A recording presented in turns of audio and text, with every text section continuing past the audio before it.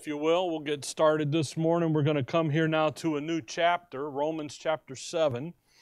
And uh, this morning, we're just going to kind of introduce the chapter to us, and uh, then uh, we'll uh, dive into the into the details uh, next week. But uh, just do an inter, introduction and to it and so forth.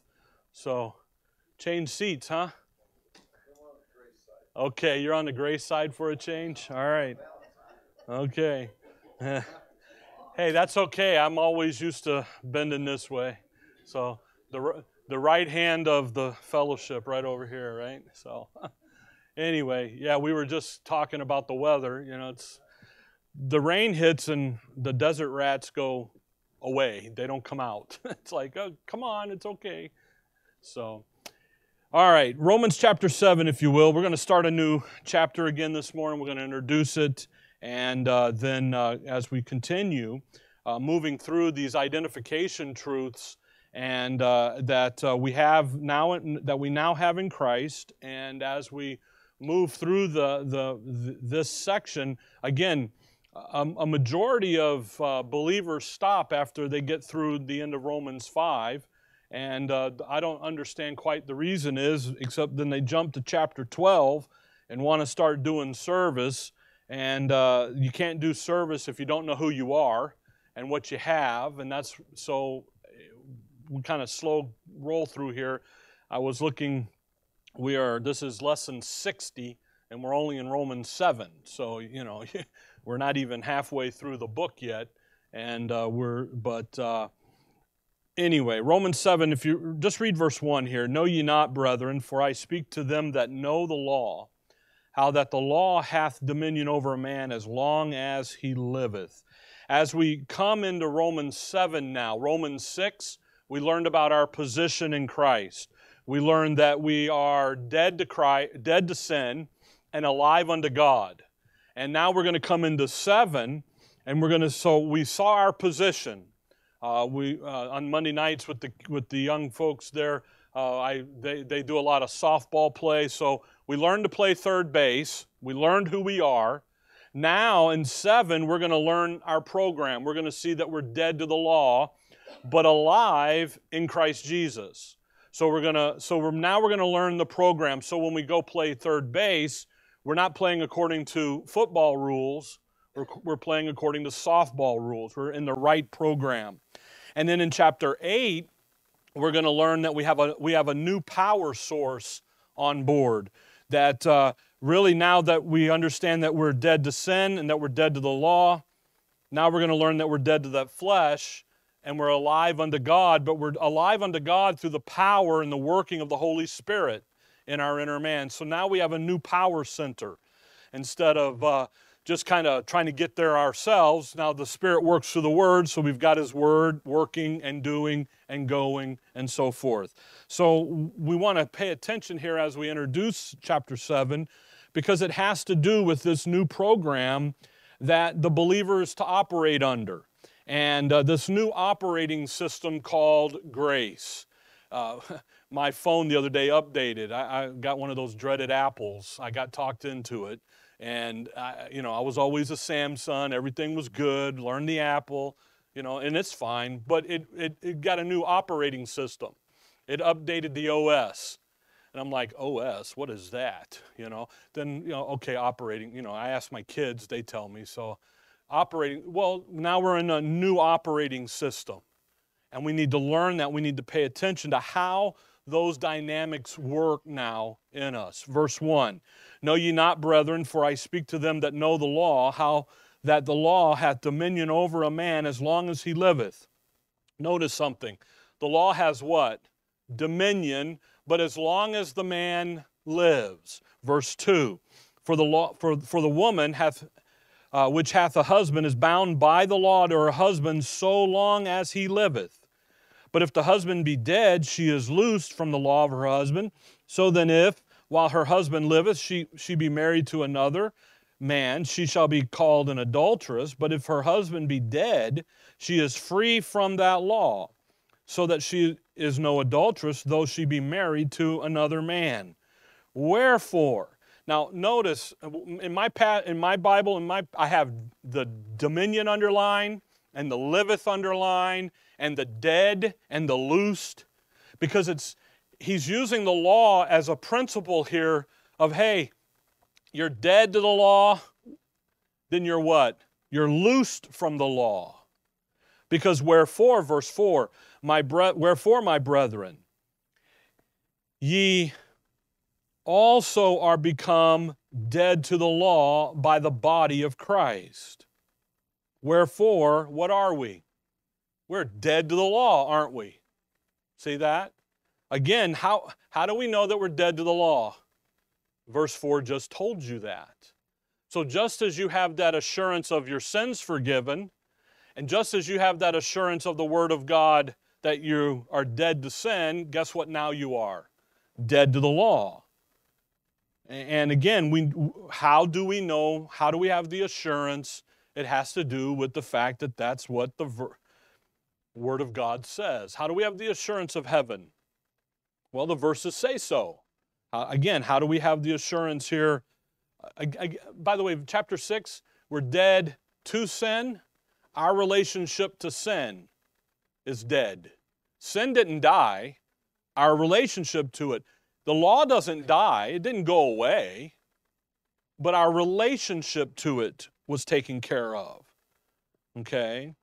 Verse 4 Wherefore, my brethren, ye also are become dead to the law by the body of Christ, that ye should be married to another, even to him who is raised from the dead, that we should bring forth fruit unto God. Um, the, in, in the theology game, and they call you, they call people who follow the, this passage antinomianism, okay? And anti against the law, against the law. And uh, what they say is that this is a doctrine according to which Christians are freed by grace from the necessity of obeying the Mosaic law. And you, you read other things and they talk about dispensational and right people who rightly divide the word and stuff. But the thing is, is we're not really saying do away with the law. We're saying what? Our relationship to that law has changed. Is there anything wrong with the law? No, the, what, who's the problem with the law? We are, and our relationship to it. So when we get into the chapter here, we're going to learn that this chapter really dead, deals with our deadness to that old, old time past program and principle that's called the law. And this is critical in our daily life and in, in, in, our identification issues because what do we tend to do to each other? What do we tend to do to ourselves? Let's start there. We put us condemn, we put us right back underneath a perform, an external performance-based system. That's the law. Paul says, no, that's not, your, that's not the right program. Romans 6, we learn that we're dead to sin. Look, look, look, look back over in 6, chapter 6, verse 3. Know you not that so many of us, as were baptized into Jesus Christ, were baptized into his what? Death. Verse 4 Therefore we are buried with him by baptism into death, that like as Christ was raised up from the dead by the glory of the Father, even so we also should walk in newness of life. Newness of life. We have that identification, that co ness, the co oneness with his death, burial, and resurrection. Again, newness of life, not renewed, not rehab, not refurbished, brand new, a newness of life. So now in 7, we're going to learn that not only did Jesus Christ died for my sin, took care of the penalty, not only has he died and took care of the power, the dominion of sin over me, but now I've died a new way. I have a new, another way to die here, and that's Jesus Christ's death is going to deal with the program of the law. And he's going to set us that manner. So when we come into this, it, it's a, again the side B to the cross, if you will. Side A, justification, all of that, Romans 1 to 5. Forgiveness of sins and so forth. Side B now, we're talking about our walk, our sanctification, we call it, but our identi- identity, power of sin taken care of. Now he's going to deal with the with the uh, the issues here of the program that we're under, which is law. If you'll notice the verse here in, in verse 4, the end of that verse, he says that we should bring forth, I'm, I'm sorry, go back up a little more. Even to him who is raised from the dead, that we should bring forth what? Fruit unto God. We're to produce fruit. How do we do that? Well, we're operating not under the law system, but now we're going to operate under the grace system. We don't operate under the law principles. We're now under operating under the grace principles. So when he says you're dead here, you're dead to a program that is incompatible with how God deals with the believer today the law. So Paul is going to demonstrate here, by the way, in Romans 7, when we get down into verse 13, 14, 15, 16, 17, that is not an unsaved person's cry. That's a believer's cry because Paul's going to demonstrate that he personally tried to operate under the old law program, and guess what he learned that it led to? Frustration. it led to absolute failure. And uh, that's going to be a wonderful lesson for us as we go through because what do we tend to do? We tend to go slide right back underneath there, first ourselves, and then we march it out to others. If you come over to chapter, uh, verse 24, what a wonderful conclusion that Paul gets in verse 24. O wretched man that I am, who shall deliver me from the body of this death? What a, what a wonderful conclusion, if you will. Why? Because he tried to do it, and guess what it led to? Frustration and failure. Again, you, you, you look there at verse 15 For that which I do, I allow not. For what I would, that do I not. But what I hate, that do I. Boy, isn't that the case? You just back and forth. Why? Because you're just you're not operating under the principles. So as we come into the chapter, a, a, brief outline. I gave this a couple, well, three weeks ago now, I guess, as we were looking at the the new section. The first four verses are going to focus on the positional truth, that declaration of what is true of you and I. What is it? We're dead to the law. Then he starts in verse 5 and runs down to verse 12, and he focuses in on the provision, the description to how it's true, why it's true, why is this the case, what's going on here. And then in verse 13 to 25, he's going to focus on the byproduct, the product, the application of it all. Here's how it's to look. So you've got position, provision, product. I think I gave you last time declaration, description, and then application. Here's the application of it. Here's what it's designed to look at, look like, and bring you to. So we're going to learn that we're alive in Christ. That's where our source of life is, not in a submitting to an external performance acceptance system that tells us what to do or how to do it. Okay? So we're going to learn that as we go through. The great question that usually comes up here is why is Romans 7 even here? Why is it sitting here? Well, go back to chapter 6 and look at verse 14. Let's kind of answer that thought here of why Romans 7, Romans 6 and verse 14. For sin shall not have dominion over you. That's what we learned in chapter 6. But why doesn't it have dominion over you? For we're not under the law, but under grace. A great verse, a, a verse we love to use. Usually we don't quote the whole verse. Usually we just say we're not under the law, we're under grace. but we miss, that's just a, that's a reasoning for sin shall not have dominion over. We have freedom from sin, don't we? But our freedom from sin has nothing to do with our determination, our self effort, our desires, our emotions to have it be. You know, I hate sin because God hates sin. Okay, that kind of thing. No, our freedom has nothing to do with our capacity your capacity to stop sinning. Because guess what? We learned in 6 you can't. God came in and changed your relationship to sin. That spiritual circumcision did all that operating on you. Now we're, we're again, we learn that we're free because not because we are trying to do it ourselves. By the way, when you try to do it yourself, you're, you're putting yourself under the law because the law says, do it. Grace says, you can't do it, you see. You see, we're, how are we free from sin? Again, not because we sub, subject ourselves to the law, but because we subject ourselves to those spiritual capacities that are available in grace. So, why seven? Well, because he's teaching a, an issue here that you need to understand that the, the law is designed to do to you.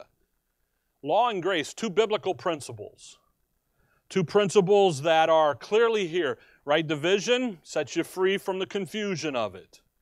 Okay? Sets you free from operating under the wrong program. But as we go in through Romans 7, we're going to learn that in order for our deadness to sin and our newness to life to being a living reality, God has made us dead to sin, dead to the law. And He's made us alive under a new program that's called grace. You follow that? All right, let's go have coffee, right? no, go back to chapter 7. Okay? Sorry, Charlie. See, if you if you come to church in the rain, you get out early, right? That's what the not really. But uh, chapter 7, look at verse 1. I just want to spend the rest of the time this morning a little bit with you just looking at the things about the law.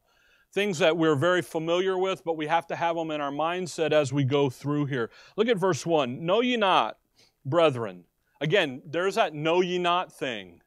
This is a mental thinking, it's a capacity of your, of your mind to think this through. All through chapter 6, know this, know that, know ye not. Reckon this, think about it this way, look at it this way. Now, know ye not, brethren. Now, look, look at the, the, the parenthesis. For I speak to them that what? Know the law. So, who are the people of the law? That's a great question. Come back to chapter 2 of Romans. Again, it's something that you'll instantly say, well, Israel is and the Jew is. But you know, in modern day Christendom today, there's a great discussion about who this is. See, there's a desire to make you and I spiritual Israel. So guess what happens then? The law become belongs to you and I. But that's funny because when I read Romans 2, we've already been through this passage, verse 17. Behold, thou art called a what? A Jew and restest in the law, and makest thy boast of God, and knowest his will, and approvest the things that are more excellent, being instructed out of the law. Who did, God committed the law program to who? To the Jews. Last time I checked, I was not a Jew. Well, come on, Rick. You know, that's not the Mosaic law. That's the spiritual law of the new covenant, don't you know? Well, I do know, but that new covenant doesn't come into his second coming. See? What allowed the, the Jews to do verse 18? To know His will and to approve the things that are more excellent. What God give them? He gave them the law to do that. The Mosaic law was written to one specific people group, the nation of Israel. And uh, this becomes critical as we move forward in Romans 7 and then when you get over in Romans 9, 10, and 11, where Paul talks about the dispensational settings for Israel, because Paul is going to lay out that we are not Israel. We are a what? A new creature. See? We are not a nation. We're a new, we're a body. The law was given to the nation of Israel. We're not, is, we're not replacement Israel. There's your Reformed theology groups, covenant theology people. We're not uh, Reformed Israel. We're not spiritual Israel. We're not Israel at all. Actually, if you come over to, oh, you're in Romans, right? Uh, go to Romans 9. Uh, let's just stay in Romans. We'll get down to the other ones here. Romans 9. You see, when, when you begin to talk about the law, it's critical to know who the people of the law are. Romans 9, look at verse 4. Who are Israelites, that's his kinsmen according to the flesh, the end of verse 3. Who are Israelites, to whom pertaineth the what? The adoption, and the glory, and the covenants, and the giving of the law. To whom who was the law given? The Israelites. See? Not you and I. It was given to the nation of Israel. Come back with me to the book of Psalms. Psalms 147. 147. So when folks try to say, well, you know, you guys are really just spiritual Israel, didn't you? You know, and it's like, wait a minute, no, the verses say what the verses say, and we're not. And there's plenty of verses, ample, we can run all day that demonstrate this. 100, Psalms 147, verse 19 and 20. And by the way, this for us, it, this ought to just be a refresher, if you will. Okay? It's sometimes, you know, you sit and you listen to stuff and you just go, wow, I know that, but boy, it was so good to hear it again. All right, Psalms 147 19. He showeth his word unto Jacob, his statutes and his judgments unto Israel. He hath not dealt so with any nation. And as for his judgments, they have not known them. Praise ye the Lord. Now, you see why right division is kind of important here? Those two verses are very clear. Who did he give it to? Jacob, Israel. So don't rob Israel. Don't go try to claim the time past program back here on how the believer is to be operating under back here and bring it over and put it on you and I today and say, you have to be doing it this way. He it was never his intention. And the reason is, is because what is God doing today?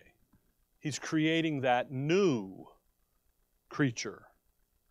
He's creating something, a, a new man. Come back to Galatians 3. Galatians 3.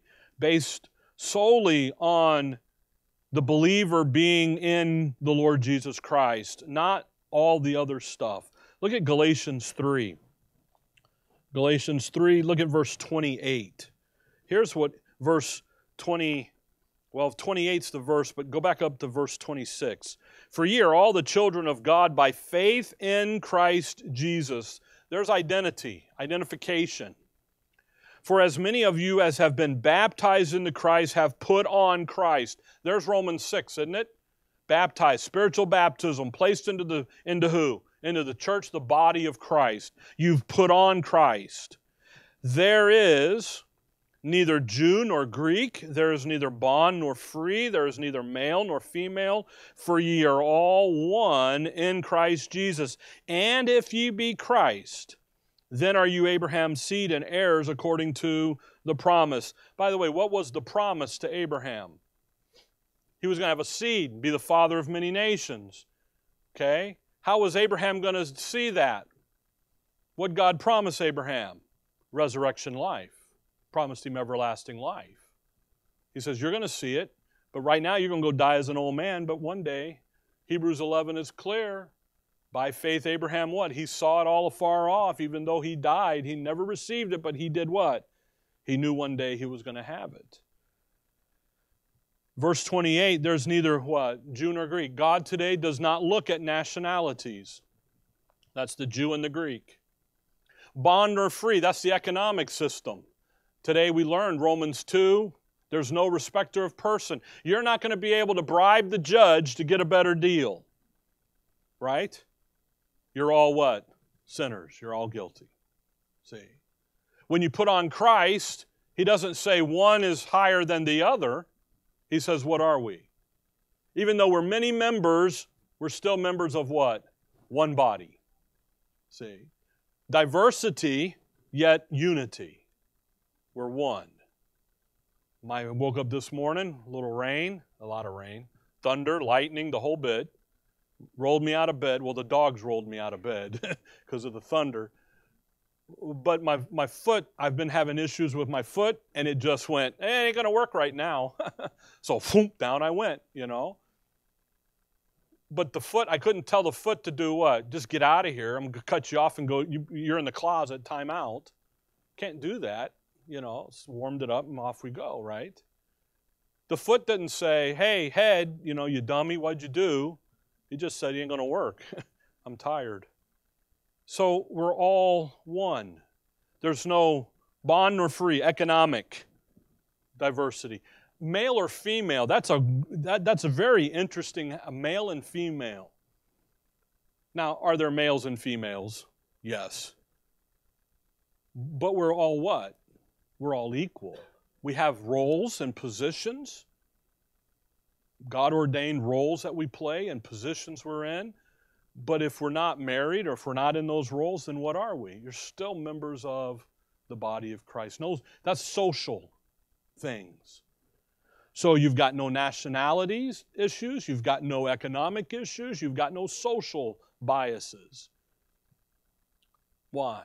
Because you're all what? In Christ. Come over to Colossians chapter 3.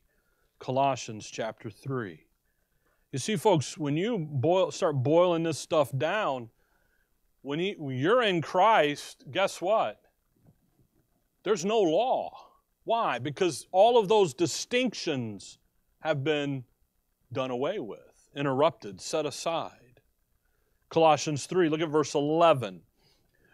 Uh, verse 10, start there, sorry, verse 10.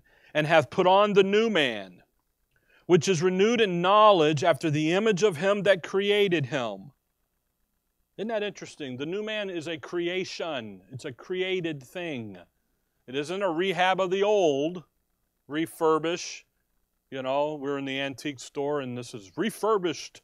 You know, it's like, really? Okay, it looked like I just saw that over at Goodwill, you know. or the, actually, the piece I was looking at had a stamp on it from a, from a furniture store that was in business and it just went out of business. I'm like, this is not antique. but it just looked, why? Because they had refurbished it. See, it's what? New. Verse 11. Where, where there is, where? In the image of Him that created Him, the renewed in the knowledge, in that new man, in Christ. There's what? Neither Greek nor Jew, circumcision nor uncircumcision, barbarian, Scythians, bond nor free, but Christ is all and in all. Well, there you go, Greek nor Jew again. There's the nationality issue. Then he says circumcision nor uncircumcision. That's a religious connotation. Now you have the social or, or the economic, barbarian, Scythian, bond or free. There's your social and economic scenarios again. He says what? All of that has been laid down. Come back to Ephesians 2. Here's the doctrine, Ephesians 2. So when we start looking here in chapter 7, the people group that the law belongs to is the nation of Israel, not you and I.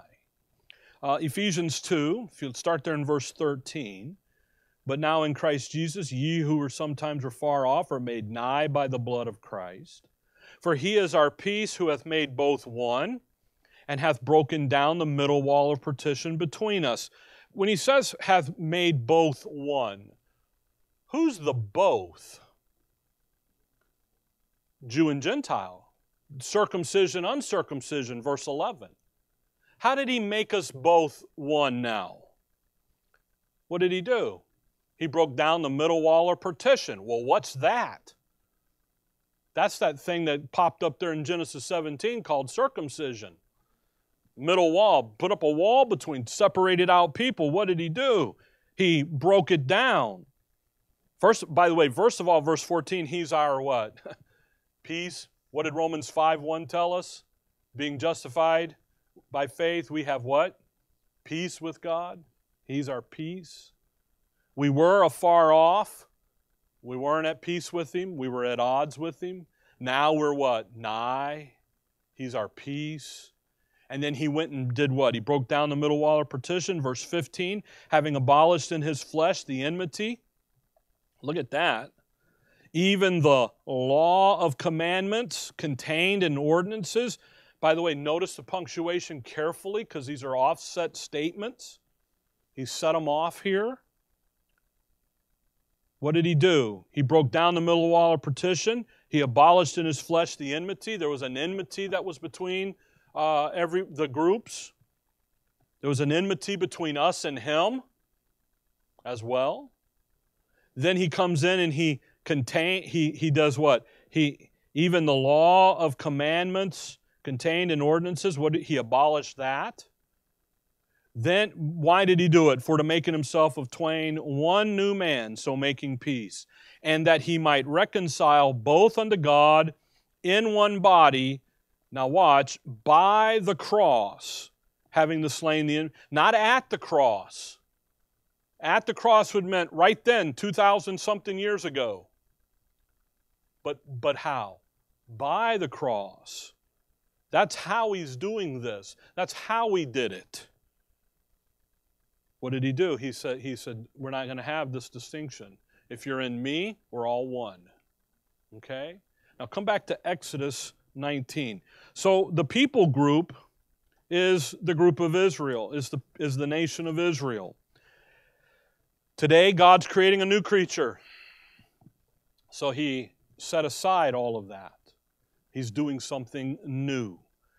Now, in Exodus 19, I guess point number two or eight or nine or however, is the law principle. Because we're not under the law program, the law wasn't given to us, nor are we under the law principle. Okay? Exodus 19, verse 3. 19, 3. Well, verse 1. In the third month, when the children of Israel were gone forth out of the land of Egypt, the same day they were in, in they, they uh, same day came they into the wilderness of Sinai. All right, so who's he going to be talking to? Children of Israel. Where are they? They're in the wilderness. They're up now they've come up to Mount Sinai, verse 3. And Moses went up unto God, and the Lord called unto him out of the mountain, saying, Thus, thou sh- uh, thus shalt thou say to the house of the world, and tell the children of everybody. No? Okay, thank you. Some one little voice in the whole group. I know it's dark outside still, but come on. no, who's he say? He says, Hey, to say to the house of Jacob and tell the children of Israel, Ye have seen what I did unto the Egyptians, and how I bear you on eagle's wings and brought you unto myself. Notice what he did. He bare them on eagle's wings. He lifted them up. They're gonna, we're going to read here in a minute, they're to be the head, not the tail. And he, eagle's wings up, protection over, and brought you unto myself. That's what he did. Now, watch verse 5. Now, therefore, here's the principle. If ye will obey my voice indeed and keep my covenant, then ye shall be a peculiar treasure unto me above all people. For all the earth is mine, and ye shall be unto me a kingdom of priests and a holy nations. These are the words which thou shalt speak unto the children of Israel. And Moses came and called for the elders of the people and laid before their faces all these words which the Lord commanded. And all the people answered together and said, All that the Lord has spoken we will do. And Moses returned the words of the people unto God. I'm, I'm sorry, unto the Lord. Isn't that interesting? What did, what did the Lord say? Here's the principle, guys. If Verse 5 I live, look at you guys saw how I protected you in the wilderness coming out of Egypt, how I protected you. How we did these five tests, run around, and you guys were knuckleheads and didn't learn. If you will obey my voice indeed and keep my commandments, then ye shall be. That is, he's, he's setting up a, what kind of relationship are we setting up here? Conditional or unconditional? Conditional. He's, uh, we, these guys have a conditional relationship based upon a performance or a lack of performance. And that's the law principle. If you obey me, what am I going to do? I'm going to raise you up and you'll be the envy of all the earth. That's how the law works the if and the then. A condition, a blessing or a curse based upon performance, obedience. That's a good word. It's a conditional, a, a, a performance based system to gain acceptance by God. You see, folks, the law is, is based on your ability or lack of to perform. So, under the law, Israel's relationship, the individual's relationship here of Israel to, to Jehovah, to God, was dependent upon their ability to perform or not to perform. Think about Adam and Eve. In the garden, they got one rule. Look at chapter 20. They're going to get the, they're going to get the 10 commandments here the top 10. These are the 10 major categories that all the commandments are going to fit under now. All the 600 plus that they're going to have are going to fit under these top 10. And, and what does he say there in verse 3? Thou shalt have no other gods. Verse 4, thou shalt not. Verse 5, thou shalt not. Verse 7, thou shalt not. Verse 13, thou shalt not. 14, thou shalt not. 15. Do, do you think there's a lot of thou shalt nots? thou, you're not to do something, or you are to do something. You see, the law says you're going to do this. And you know what grace says? You can't do it. The law says, don't do this. You know what grace says? You're always doing it all the time. You know? Don't take the Lord's name in vain. Everybody thinks that's cursing. It's really not.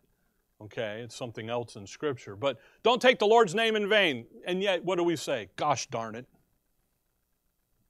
Just kind of little fib to get around the rule, right? What did Grace said? You've been doing it. You've been doing that all, all the time. See? The law says, don't you do it. Grace says, do it. You can't, you've al- you're always doing it. So the law, come over to Deuteronomy 28. The law fundamentally is a performance based acceptance system. It's external, it's based on activity. And it's an external system that tells us what we are to do and how we are to perform it and what the consequences are for doing it or not doing it. Okay? Paul says, You're dead to this mess, man. I tell you what, it's a great thing to be dead to it. Look at Deuteronomy 28. Look at verse 1. Deuteronomy 28 1. And it shall come to pass, if thou shalt hearken diligently unto the voice of the Lord thy God to observe and to do all his commandments which I command thee this day, that the Lord thy God will set thee on high above all nations of the earth. Notice that verse. If thou shalt do all that God has what? Said to do if thou shalt hearken, notice that word, diligently. Do you know that God demands absolute, unbroken, perfect perfection? That's what he demands. And what does he say? Diligently unto the voice. If you hearken diligently, unbroken. Verse 2 you do it all, verse 1, verse 2, all these blessings shall come on thee, and what? Overtake thee. If thou shalt hearken unto the voice of the Lord thy God, blessed thou uh, blessed shalt thou be in the city, and blessed shalt thou be in the field.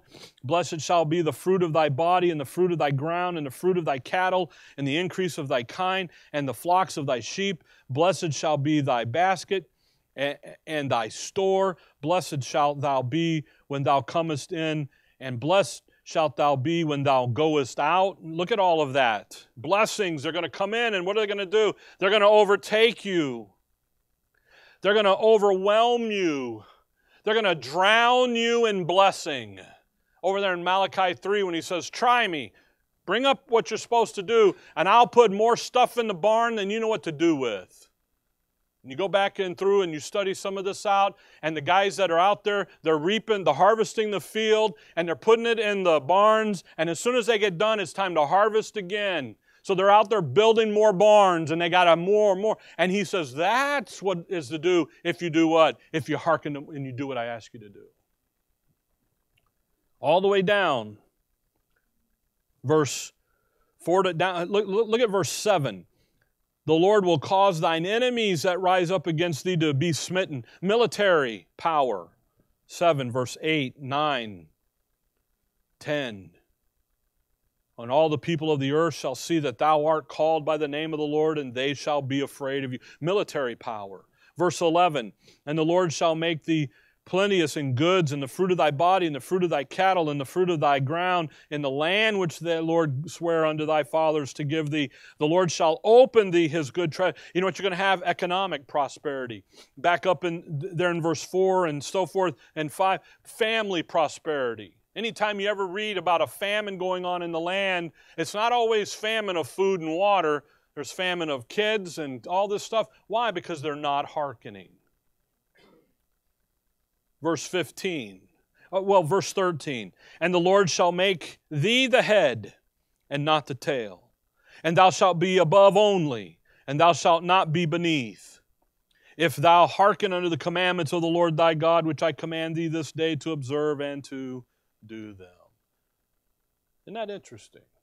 Then he says, And thou shalt not go aside from any of the words which I command thee this day to the right hand or to the left, to go after other gods to serve them. Folks, they had to have the Word of God. And they had the Word of God. Because they weren't, that's what told them to do what? What to do, what not to do, how to do it, what, you know. Hey, on the fifth, eighth, on the fifth Tuesday of the third month, you got to do, you know, all this stuff. It's like, holy cow. Okay, there isn't a fifth Tuesday on the third month. Okay, just everybody's looking at me, huh? You know, but that's what it is. What did he? What did he? Uh, the pop, the guy in the Popeye. I'll gladly pay you for a hamburger on next Tuesday for a burger today, or something like that. That's kind of the idea. Look at verse 15. But it, but it shall come to pass if thou wilt not hearken unto the voice of the Lord thy God. Notice the word diligently is gone. It's not listed there. Isn't that interesting? To observe to do all his commandments and his statutes which I command thee this day that all these curses shall come upon thee and overtake thee. Uh oh, is right. This is the passage that, that modern day Christendom uses to say that when you're in trouble, it's because you're not doing, you have, you have no faith, little faith, and so forth. And they come to this kind of idea. Because what's happening? Well, you're going to be cursed in the city. Verse 18, that you're going to have uh, uh, cursed shall be the fruit of thy body, and the fruit of thy land, the increase of thy kind, the flocks of thy sheep. Cursed shalt thou be when thou comest in, and cursed shalt thou be when thou goest out. The Lord shall send upon thee cursing, vexation, and rebuke. Ouch. In all thou, thou settest thine hand unto for to do, until thou be what? Destroyed and until thou perish quickly because of the wickedness of thy doings, whereby thou hast forsaken me. It's, the curses are designed to do what to them? Destroy them. Verse 24 The Lord shall make the rain of thy land powder and dust. From heaven shall it come down upon thee until thou be what? Destroy. Hey, the rain, you're going to have floods, you're going to have weather problems. Verse 25, the Lord shall cause thee to be smitten before thine enemies. We're going to have a military defeat. Verse 27, the Lord will smite thee with the botch of Egypt, and with the emerods, and with the scab, and with the itch. Wherefore thou canst not be what? Healed. No physical healing. I love that. The scab, the itch. the botch. it's like, ooh, sounds so lovely, don't they? you know? Verse 28 The Lord shall smite thee with madness and with blindness and astonishment. You see, madness, mental illness, it's going to get you. You're going to go mad. Verse 30 Thou shalt betroth a wife, and another man shall lie with her. Thou shalt bind a house, or build, bind a house, build a house, and thou shalt not dwell therein. Thou shalt plant a vineyard, and shalt not gather the grapes. Family problems. You're gonna lose your family, your home, your land. 31 down there, the you know, verse 32, you're gonna lose all your possessions. Verse 35, the Lord shall smite thee in the knee and in the legs with a sore botch that cannot be healed from the sole of thy foot under the top of thy head. there you go. That's why you're falling apart. You're not keeping the law. You're not doing. Where's your tithe? You know, and off they run. If I do, the law says if you do it, you'll have blessings, overwhelming blessings.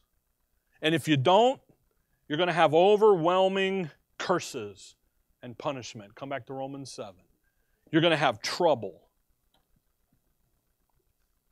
Now, the question that I always have when people try to run us back underneath the law is is that the kind of relationship we want to have with God, our spouses, our children, our co workers, our extended families, do you want to have that kind of a relationship? I don't. No, thank you. you know? In Romans 7, you know what he's going to say? Verse 4 Ye also are become what? Dead to the law. Our relationship to the law is one of deadness. Just as that guy lays in the coffin and he's dead, there's no interaction to it. And why it's critically important here is because our relationship with God is not going to be based on our ability to or not to perform. Rather, it's going to be based upon an unconditional free gift,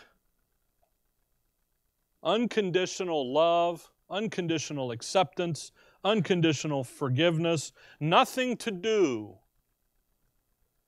with our performance all to do but based on His grace. I got a little list here. The law says, do it to get. Grace says, you already have everything. The law says, behave. You know what grace says? Believe. The law says there's a work to do. Grace says there's a walk to have. The law says the law is an external system, externally. Grace is an eternal system.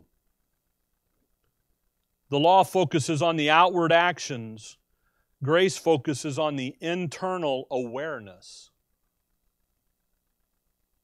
The law says nothing but acti- accepts nothing but activity. Grace accepts nothing, I'm sorry, law says not activity, grace says acceptance. The law says stop. Stop in the name of the law. You know what grace says? Stand. Just stand. The law says retribution is coming your way. You know what grace says? Rejoice in the Lord always. And again, I say, rejoice. Grace can, you know, the law says you got a debt, pay it. You know what grace says? Grace can never incur a debt. Grace will never allow a repayment. You can't pay God back for what He did. Why? Because what He did isn't based on your activity. Grace never treats a person as he deserves. Grace, uh, let me start that one again because I this one is a quote, so let's get it right. Grace never treats a person as he deserves, nor better than he deserves, but rather treats a person without regard to what he deserves. See, the law is Deuteronomy 28. If you do it, I'll. If you obey, you know what you deserve? Blessings. If you disobey, you know what you deserve? Curses. Grace says, I'm going to come in and treat you in such a way that I won't ever bring up what you deserve, but will extend unmerited favor regardless of what you truly deserve. we call that mercy. That's what we call it. So when we come back here to Romans 7, it's critical to have Romans 7 sit where Romans 7 sits. Because it's in, and, and sits where it sits in our edification process. Because what are we doing? We're learning, we're growing. Because the natural reaction will be to do what? Just as our natural reaction is to live under sin and do some things that we're not supposed to be doing. Our natural reaction then is to say, What? Lord, give me something to do. Preacher, give me something to do and I can do it. Lord, if you just give me some, let me help you. Let me repay you, Lord. Let me, let me pay you back for all that you've given me. And all you do is attack the grace of God when you do that. You frustrate it, as he tells the Galatians. Or you can fall from it, as he also tells the Galatians. So then the thing of the the thing that kind of throws up at it, you're in Romans 7. Look down at verse 12. If you're not in Romans 7, get to Romans 7. The thing that gets thrown back up to us is that when, when you say you don't keep the law and so forth, then you are blaspheming the law. Okay? You're making the law be something it's not. Well, look at Romans 7. Look at verse 12. What do we learn about the law? Wherefore the law is holy, and the commandment holy, and just, and good. What do we learn about the law system? It's a what? It's a perfect system, isn't it? That reveals and manifests the character and the attitude and the traits of a holy, righteous, just God. But what else do we learn? That it isn't the law that's the problem. Who's the problem? We are. That's what we learn in 7. Verse 13 was then that which is good made death unto me. God forbid, but sin. Isn't that interesting? That it may appear sin working death in me, that which is good, that sin by the commandment might become exceeding sin. Boy, could you imagine sin being exceeding sinful? That's pretty bad. For what for we know that the law is spiritual, but I am carnal, sold under sin. We'll look down at all of that next time, coming weeks. What do we learn about the law? The law is holy, just. We're not blaspheming the law. We have nothing against the law. Do you know that the law commandments were given to Adam and Eve in the garden? He was teaching them the principles of the law. You go study that stuff out and you look over in Galatians and he says the law was added to because of what? The transgressions. See? The law was taught to Adam, no Noah, Abraham. It was given to them because what is it? It's holy, it's just, it's right, it's good. Adam and Eve had one commandment in the law, in, in the garden don't eat of that tree. They knew all about the tree of the knowledge of good and evil. They knew where it was. And you know what? It was a beautiful tree. And Paul's going to say, if you offend in one, you're what? Guilty of all of it. Galatians, James, quoting James. James says it. We don't, we're not against the law. We just learned something about the law. Back up, look back up at verse 5. For when we were in the flesh, the motions of sins which were by the law did work in our members to bring forth fruit unto death. But now we are delivered from the law, that being dead wherein we were held, that we should serve in the newness of the Spirit and not in the oldness of the letter. See, the prob- we understand the problem with the law isn't the law, it's the people, it's the sinner. And we're going to learn that the law doesn't stop sin in our lives. It won't, it can't. That's that thing there about the motions of sin, which were what? By the law. You know why? Because what the law says, do this. The law says when you do that, do this. It doesn't stop it. It doesn't communicate how to stop it. But rather, we've been delivered from the law because what are we? We're dead to it. Our relationship to it is we should serve in the newness of spirit. Notice, newness. Not rehab, not refab, not refurbished, newness against the old letter of the law. What was you know what the old letter of the law was? Thou shalt not. That's the letter. No longer we'd operate on the thou shalt, but rather we're to operate in this newness. And if you do, and you're under the law, you know what you're going to do? You're just going to get frustrated. And down in this passage in chapter 7, 47 times, if I counted right, Paul will say, I, me, my, as he goes through that frustration down to verse 24, 7 13 down to 24, right in there, where he says, O wretched man, there's Paul's conclusion, that I am, who shall deliver me from the body of this death? I thank God through Jesus Christ our Lord. So then, with the mind, I myself serve the law of God, but with the flesh, the law of. You know what Paul says? The answer to the law is a person, it's the Lord Jesus Christ. It's not in me doing, it's not in me functioning. And he's, we're going to learn, I hope, to enjoy our position in Christ because we're under the right program. We're playing by the right rules, if you will. Okay?